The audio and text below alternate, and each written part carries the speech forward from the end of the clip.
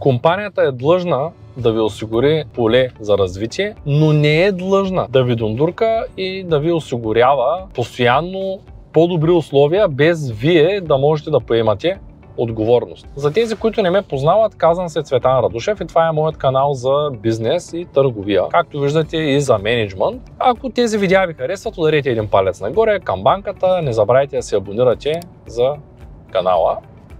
Хубаво е при планирането на един бизнес да вземем предвид посоката на бизнеса и ясно да структурираме нашите цели и да можем така да направим нашите цели, че те да обхващат и целите на хората, които идват и работят при нас, още при самото планиране. После при организирането и структурирането на бизнеса да виждаме целите на хората от нашите екипи и да преценяваме заедно дали можем да ги изпълним или не.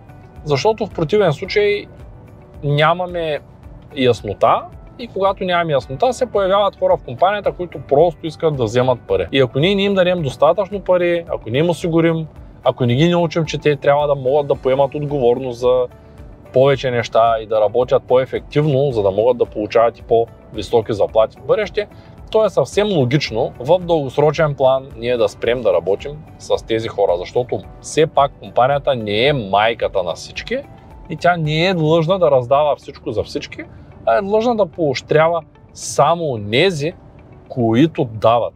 Тоест човек дава и получава в синхрон. Човек получава толкова, колкото дава.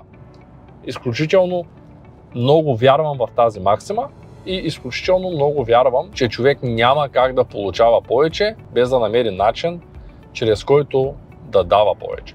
Надявам се това видео да ви е било полезно. Ако това е така, ударете един палец нагоре към банката и можете да се запишете за нашия курс по бизнес организиране и структуриране в описанието на видеото. Благодаря ви!